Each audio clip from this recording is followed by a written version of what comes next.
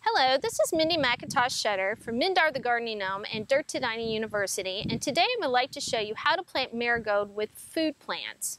Now marigolds are a traditional plant that's planted around a vegetable garden and the reason for that is it helps with nematode control.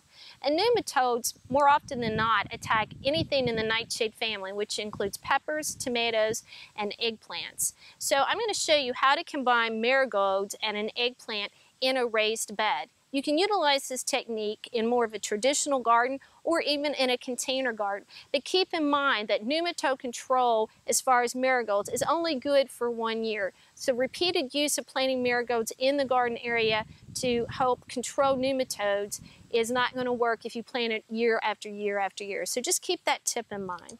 So the first thing that you're going to need to do is you're going to need to prepare your garden soil, whatever your garden may be, container garden, traditional garden, raised bed, and you simply do that by loosening up the soil and adding compost to it. And you want to add a good amount of compost to the soil. Uh, you can't overdo compost. If you're planting plants, you can add a slow release fertilizer at that point. If you're planting seeds, wait until those seeds germinate before you add a slow release fertilizer. So this plant I actually have just pulled out and I'm going to show you how to plant. This is an eggplant.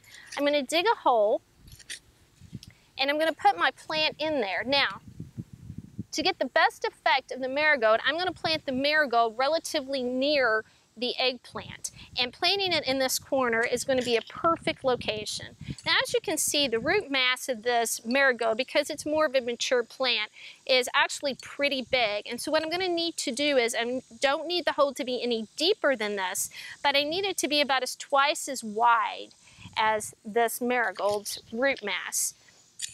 So I'm going to dig the hole. And I don't want to dig it so deep that the soil level in this raised bed is deeper than the soil level that this plant came from. So I'm going to put the plant in here, I'm going to check it with my hand, making sure that my hand is level, and then I'm going to fill in. Now, if you had plants who were in plastic containers, you would need to tip them upside down, tap on them, and release them from the container. If you don't want to use that approach, you can take a knife or a pair of scissors and gently cut that plastic container away from the plant, tease the roots, and then plant them like we did in this raised bed. So give this technique a try. It's a great organic technique for the control of nematodes and many other pests that you find in your vegetable garden space. So until we meet in the garden again, this is Mindy McIntosh Shetter from Mindar the Gardening Gnome and Dirt to Dining University.